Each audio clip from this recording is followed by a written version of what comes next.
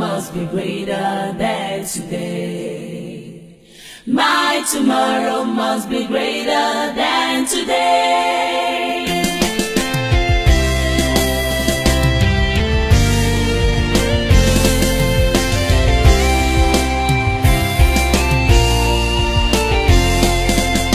His hands are not short that it cannot reach to you. His eyes are never blind.